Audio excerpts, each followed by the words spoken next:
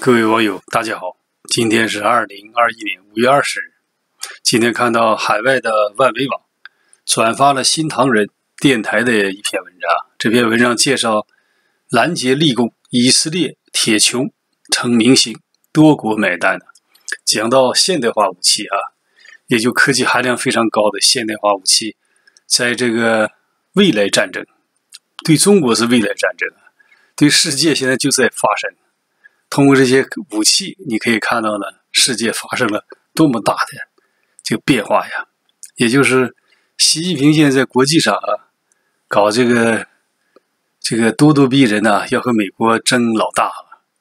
那么在国内啊，残酷的镇压老百姓，走文革之路。为什么这么狂妄啊？就是因为他有一个思维定式，从毛泽东时代来的啊，五十年代。抗美援朝那个期间，也就我爸爸参加那场战争，在那里这个学来的人海战术啊，也就是什么呢？一旦开战，那个他藏起来，绑架十四亿中国人，让当兵的上战场当炮灰，这个所以他不在乎啊老百姓的死活呀。但现在这个整个的战争啊，和过去不一样了，发生变化了。所以这篇文章的谈到的内容，我认为也非常重要啊。这个你看，这个这次这个战争巴以冲突，这个以色列啊，这个发射到这个激进方面的啊，激进组织哈马斯的这个这个双双方之间这场争斗啊，你看这个他向这个以色列啊发射了这个哈马斯向以色列发射了约四千枚火箭弹，说是除了一部分落在这个加沙地区啊。呃，伤了巴勒斯坦自己的人之外，百分之九九十以上被拦截了，呃，白打了哈，被这以色列铁穹这系统拦截了。这是一个新的这个设备啊，还拦截了哈马斯的六架无人机啊。你想吧，这说充分说明什么？说明这个这个铁穹这个东西真厉害啊！这个以前根本没有过的。你想，在五十年代的时候，那是传统战争，都是地面排好了队形，宣战，然后举着红旗后边冲啊！伟大领袖都站在后边，藏起来，根本找不到啊！等到战争结束了，死就白死了。如果索性活下来，活下来的统治者啊，假模假式给你带个勋章，然后再用这些虚假的宣传啊，说你是这个共和国的卫士啊啊等等吧，这都骗人的把戏。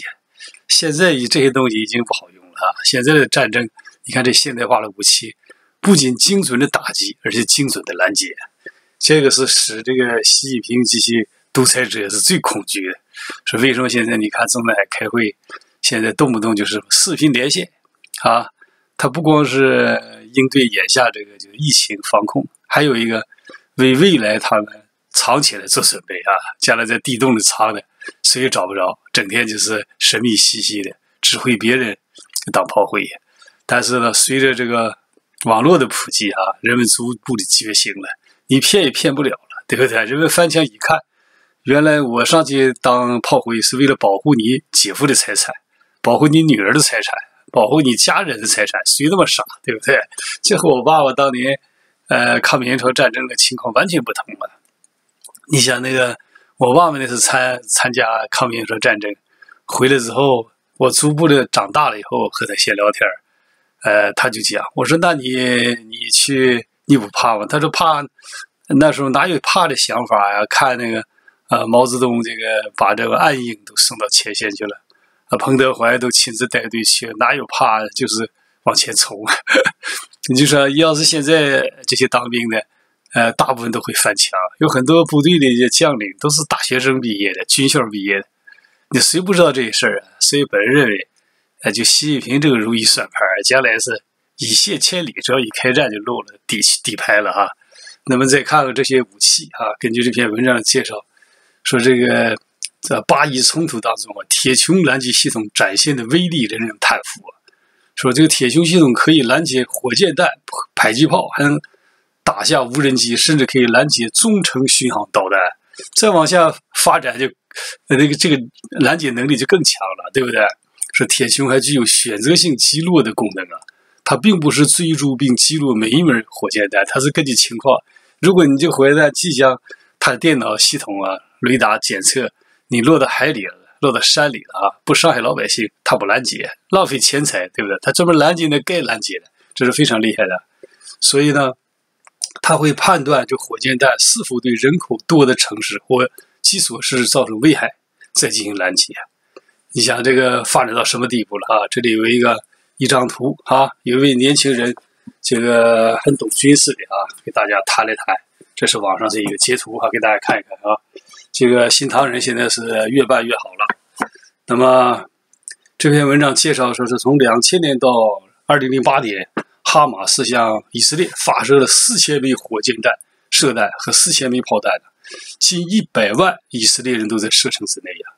说为了应对这个安全威胁，以色列决心拦截、开发拦截火箭弹和炮弹的铁穹系统，四年期间完成啊测试过程。二零一一年起开始部署铁穹系统，你可见现代化战争打的什么？打的是钱和技术和智能。就中共为什么派一些留学生、一些老师、一些学者到美国来偷技术，到海外偷技术，就想弯道超车啊？这个走近道，想这个投机取巧啊？因为你要想搞这个科技，老老实实的这个进行研究啊，你看人经历四年，踏踏实实，终于现在可以了。二零一二年，以色列称铁穹系统拦截了四百多枚火弹，到了一四年，拦截了一千两百枚火弹火箭，随后不断的升级改进，最大拦截范围要达到二百五十公里啊，并能够拦截导弹袭击。你看有效率多到多少呢？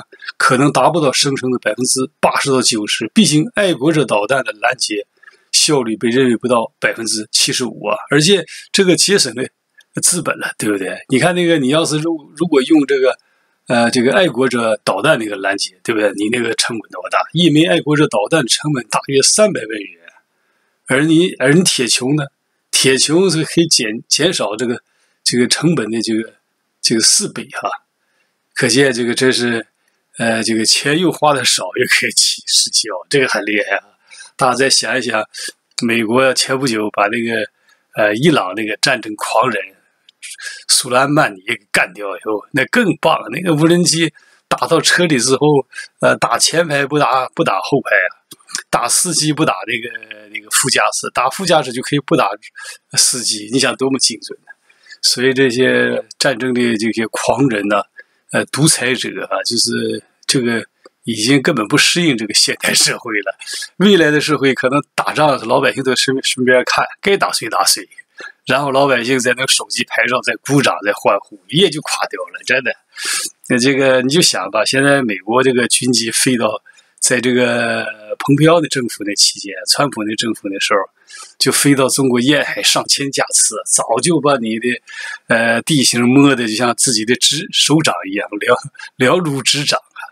呃，什么军事设施在哪里啊？这个核武器在哪里？军队在哪里？核潜艇在哪里？将领住在哪里？叫什么名字？可能这个将领，中共那些高官、部队将领，经常到了情妇家里，这个楼都知在哪里。你想，人家了一旦开打了以后，人们将看到了是这些，呃，在政治舞台上整天张牙舞爪的人，夜间啊就消失了，是吧？所以根本不不用那么悲观，就看美国真不真正跟你翻脸。这一翻脸，那就是可以这样讲吧，叫百发百中啊。所以看了这个这些设备，真是世界发生了。什么样的变化啊？由于这个设备铁穹呢非常受欢迎，说现在开始全世界各地都都在购买。印度啊、罗马尼亚、埃塞拜疆签订了购买这个合同了。印度采购了最多二十亿美金的。你看现在中共官媒多傻，整天在宣传印度受新冠的这个呃这个四月啊，这个死掉多少人多少人，小粉红一片欢呼。你想你越欢呼，你等到人家结束以后。人家找你算账越狠，对不对？因为现在美国已经逐步的拿出方案，认同这个阎立梦的报告了。你想这最后是个什么结局？印度和你干就完蛋了。说他特别傻，他治理这个国家，习近平是低能愚笨而狂妄吧，一路狂奔啊。其实像印度这个事情，他的宣传应该淡化，应该多帮助人家。就包括当年当初这个美国疫情严重的时候就讲过哈，但是他不接受，为什么？他这个现在是按照阎立梦讲的，是故意释放的一种生物武器战争。那你既然战争也没宣战就已经开战了，人将来肯定打击也是突如其来的，不要抱有任何的幻想。一见一旦打，这些东西都用上派上用场了啊！什么无人机，什么铁穹啊，都来了。那你中共那些军事设施，你发着飞弹，你马达得发，是不是？百分之七十五到八十拦截了，对不对？没有用了，所以只有乖乖的举手投降。到那时候，中共集权统治啊，这个现代化战争当中一夜的崩塌呀！再别存在一种慢性梦想啊，十四亿中国人民成铜墙铁壁挡着你啊，人人都像我老爸哼 那么傻了，傻不可能了。人们都已经觉醒了，对不对？这是一个新的一个时代啊！但是习近平走啊倒退的路啊，自取灭亡啊。那么今天呢？海外奇谈节目到此结束，非常感谢广大网友的收看，谢谢再见。